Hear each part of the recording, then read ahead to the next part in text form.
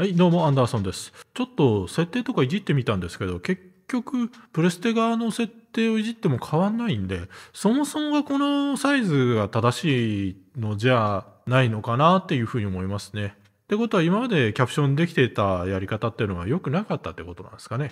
その辺はまたちょっとやってみないとわかんないですけどね。多分言ったと思うんですけど、今使ってるキャプチャーって画面サイズとかをね変更できるタイプのものじゃないんで、もう入ってきたそのまま出てくプレステから出力されたものがそのまま入ってくる設定になってるんで、だからプレステはこういう風に出力しないと画面のサイズが合わないはずなんで、これが多分正しいサイズなんじゃないかと思います。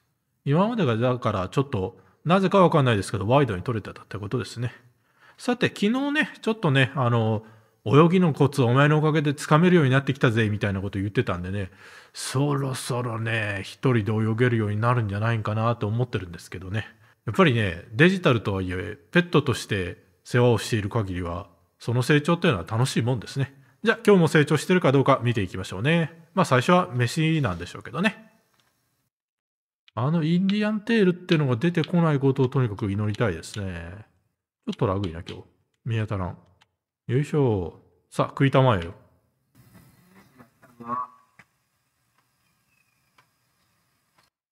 一時期半分ぐらいしか食わない時ありましたね。毎度。お前、この時間帯出張だな。そうだな。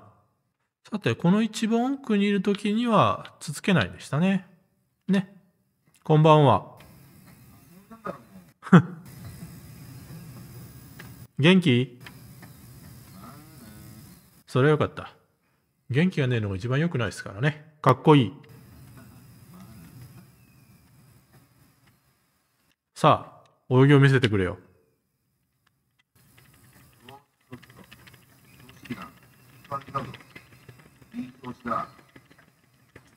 うわ。頑張れ。やべ。頑張れ。そろそろ慣れてくれ。もう何日も何日も、ね、何回ももうやってるんだ。もうこれ以上俺にはどうしようもないぜ。しかしやっぱり、妙に画面が縦長な気がするな。しかも今、もう、あ、そういうもんなのかな。上がちょっと見切れてる気がしたんですが、モニターがそうなってるから、もともとそんなもんなのかもしんないですね。よし、くすぐってご機嫌取ろう。ね、ぶっちょいでしょ。これで少し顔が柔らかくなるんですよね、顔、表情がね。こうしてジャングルにいる間は、飯以外のことは大概自分でやれてるんだな。天敵みたいなのも特にいねえみてえだし。まあでもそんだけ活動的だったら自分で木登ったりして餌とか取れそうな気もしますけどね。水中には餌がいないっぽいですね。あだけど、ギルマンの時は海だったら餌も豊富だしみたいな感じなこと言ってたらな。だけど、虫放り込まないとやってこなかったですしね。あの辺はどうなってるのかな。海にある餌で十分だけど、虫の方が好きってことなのかな？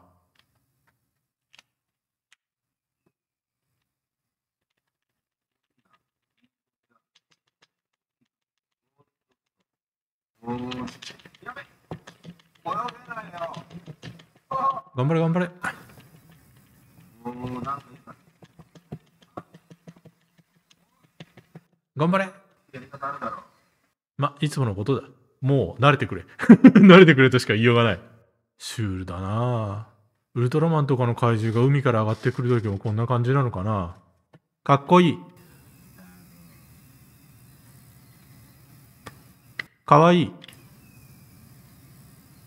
かわいい。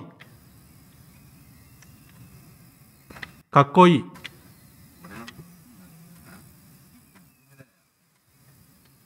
よし、代わりに海に放り込んでやるぜ。海じゃねえけど。いいぞ。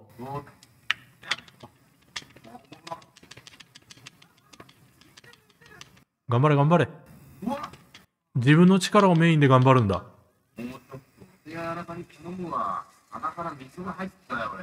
お手柔らかにできりゃ、その方がええんでしょうけどね。鼻線でもプレゼントしてやりたいな。放り込む気満々だろって言われそうですよね。その通りだけどね。かっこいい。おだててもしつこいって言われるんで、しつこく落としてやろうと思いますよ。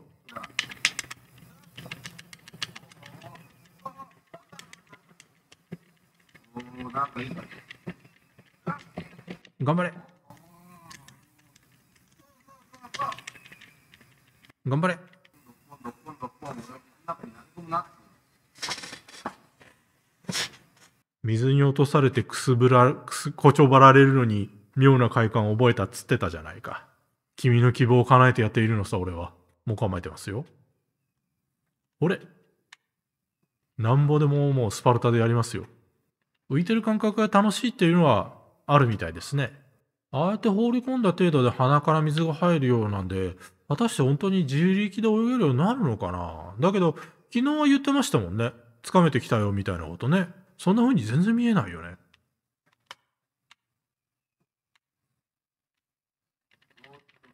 もう連続でガシガシよ。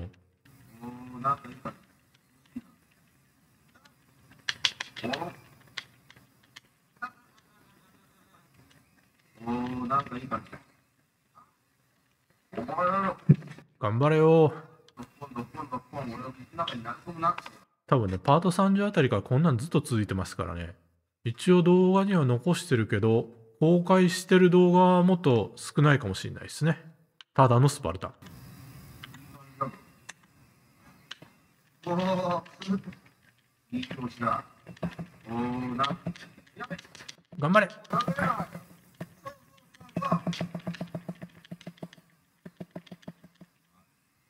げ込むにしてももうちょっとやり方あるだろう毎回そんなこと言いながら本当は嬉しいくせによ。おれい。おーなんかいい感じいい気持ちだいい気持ちだ一発だ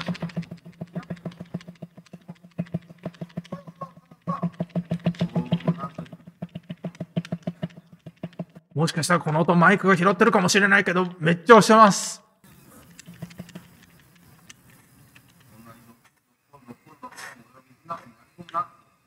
さすがにちょっと疲れてきた。こっちもうおじさんですからね。とかなんとか言いつつもう掴む気満々ですよ、すでに。ニガさん。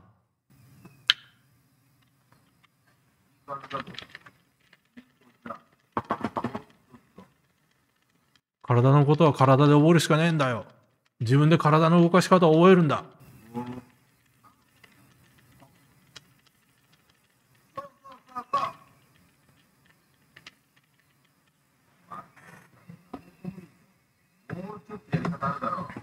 よく頑張ったな。俺の方が。やってる方もね、だいぶ疲れてきますよ、これ。調子どう？何歳？面白いことは期待して年聞いてんだけどね。いつだったかな？八宝菜は秀逸だったな。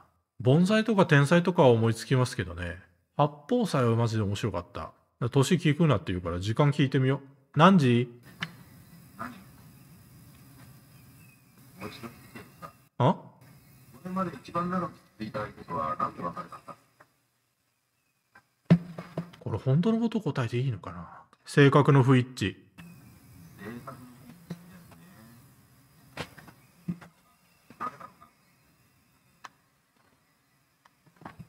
売られた。今はどれくらいの頻度で連絡してない。真面目に答えてるよ。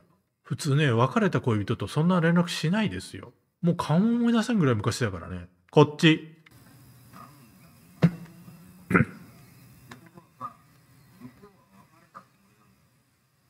それでもそんなに連絡してるんじゃお前それってねえかようるせえよ。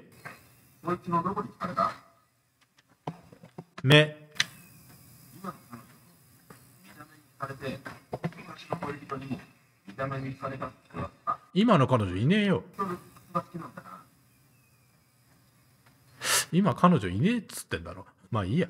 大きそう、重くそう誤解されてますけどね。俺真面目に答えたらね、本当にあの、なんていうのかな。バンされそうな話になるんでね。俺はね、多分ね、ブログでどっかで書いてると思うんでね。あの、気になった方は、あの、ご自身で調べてみてください。気になる人いるとも思えないけど。実際ね、最後の相手はね、だいぶただれた相手だったんでね。いや、最後の相手だけじゃねえな。その前も、あのちょっとお話しすることができるような種類の内容じゃないんでね。詳しくは述べませんけどね。まあ、ろくでもない付き合い方だったな若い頃の話なんでね、酒飲みながらでもないと話ができないタイプのことですね。ちょっと実況で言うことではないので、ここでは伏せておこうと思います。もう出てこないかな。夕方、まだ夜ってほどじゃねえから、まだこっちに出てくる可能性ありますね。出てきましたね。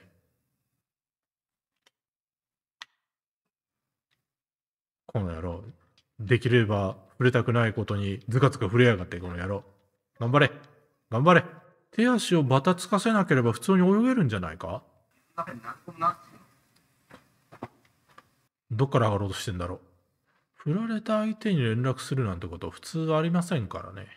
振った相手にも連絡しねえっつうの。まあ、振ったっていう経験がねえんですけどね。振られたっていうのともちょっと違うし。溺れるどころかお前、地面に顔めり込んでたぞ今。大丈夫か？今度ど、どっから上がろうとしてんだろうな今度。だから上陸ポイントに決まりでもあるんですかね。ここから上がんないといけないっていう。好みの場所とか上がりやすいところとかあるんでしょうね、やっぱり。こっち側から見てる分にはね、そんなに違いわかんないですけどね。もう埋まってるやん、体。体半分地面に埋まるてたで、今。今度今度今度今度俺は水の中に投げ込むなってだからなぜ、なぜ一旦水辺の方に向かうんだ足も埋まってるの、あれ。足が埋まる場所は嫌なんだ。ちゃんと地面を踏んだ状態になるところまで歩いてきてから登ってるんですね。意外とデリケートだな。まあ知らんけど。まあ知らんけど言いながらガンガン放り込むよ。完全に体今埋まってましたね。頑張れ頑張れ頑張れ頑張れ。頑張れ頑張れ。尻尾も地面に埋まってますね。体がだから完全に地面から出た状況でじゃないと上陸しないですね。だいぶ暗くなってきたな。でもまだやるよ。おーなんかいい感じいい感じだぞいい調子だおーなんかうわこれちょっとそこで溺れるってよっぽどだぞ。もうほとんど陸地だよ、そこ。これだったら育成キットの中で泳ぎの練習する方がよっぽど安全だったと思うな。ね水の反射でもう何が何だか分かんない映像になってるよ、これ。すげえことになってんな。そして構える私。うらーもう姿見えないよ。ほとんど見えないよ。そこでどうやって沈むんだよ、本当に。頑張れ頑張れ。すげえな。もう、もうほとんど体とか見えないですね。そしてすでに構えている私。まだいけんだろ？ひたすらこれを繰り返す。もう、もう一週間まではいかないけど、だいぶそれに近い日数ですね。これ繰り返してるんですよね。お前と柔らかに込むわほん、水が入ったよ俺本当に泳げるようになるのかな？そっちが心配になってきたな。何かを求めて泳ごうとしてるはずなんですよね。だから、泳げるようにならないと、この子の求めるものは、ものにならないはずなんですよ。だから心を鬼にしてまた放り込みますよ。頑張れ頑張れなんかもう、いつ以来だろうな、こんな連打するの。昔のゲームはね、あの、ボタン押しっぱなしで連打とかしてくんなかったんで、一生懸命自分の手で連打してましたからね。懐かしいなファミコンの時代ですけどね。おーなんかいい感じいい調子だお前らあちちょっとずつ沈んでる時間が、ちょっとずつ沈んでる時間が短くなってきてる気はしなくもない。けど、ようやくそうなってきたっていうことは相当こいつ泳ぎ下手ですよね。昔は泳げたのになって言ってたけど、それは昔というのはあの、フロッグマンとか、フロッギーか、フロッギーとか、ギルマンとかの時代だったって考えてるならもう体の構造違うんだからそうそう同じように泳げないですよね。それはしょうがないから私もこうして練習に付き合ってるわけで。ええ加減疲れてきたよ。で、水の反射が怖いことになってんな。暗いところと明るいところの違いがすごいですね。かわいい。普通にくすぐってみよう。なかなか反応しないね。この鼻に水が入るんですね。かっこいい。さっきしつこいって言ったじゃねえか。ああ、なんだよ。昔付き合った時とどっちがの？恋人のことが今でも忘れられないんじゃないのか？そうだな。もし人生がゲームみたいに何度でもプレイできるんだったら、その昔の恋人と本当にうまくいくかどうか試してみたいって思ってるだろう。それがこの現実ではできない。だから逃げりだったね。そういうことだろう。それはちょっと違うな。持ちを確かめてみたいって思うだろう。相手に会ったんだったら答えは自然と出るよ。ただ、現実にやってるだけが人生じゃないって、お前もう分かってるじゃん。まあね、これだけ物騒な世の中だ。明日何が起こるか分かんないんだからさ。本当にね、いろいろできることをやってみるのも人生だぞ。このところ事件がすごく多いですからね。まあ人生いろいろやってみようと思ってゲーム実況も始めてみましたからね。そのおかげでこうしてリクエストいただいてシーマンというゲームに触れてるわけですからね。本当に良かったと思いますね。私のゲーム実況を楽しみにしてくださってる方もいらっしゃると信じてね、これからも頑張っていこうと思います。さあ、もうね、すっかりね、森も夜の帳が落ちてきたのでね、今日はこれで終わろうと思います。今日はいろんな話題をシーマンともお話できたんですけど、恋人の話はちょっとセンシティブだから触れてほしくないなと思いつつね、この子でも知りたがりだからしょうがないですね。えっとですね、この続きもまたやっていきますし、シーマン以外にもね、マインクラフトを中心にいろんなゲームやっております。ライブ配信もやっておりますのでね、よろしければチャンネル登録等々していただいて、何か面白いものを見つけていただけたらというふうに思います。で、この程度でいいんだったら俺だってゲーム実況できるぜと思う方、きっといらっしゃると思います。ぜひやってみてください。面白いです。意外とね、楽しいですよ。それではね、今日のところはこれで終了とさせていただきます。ご視聴ありがとうございました。また次回の配信でお会いいたしましょう。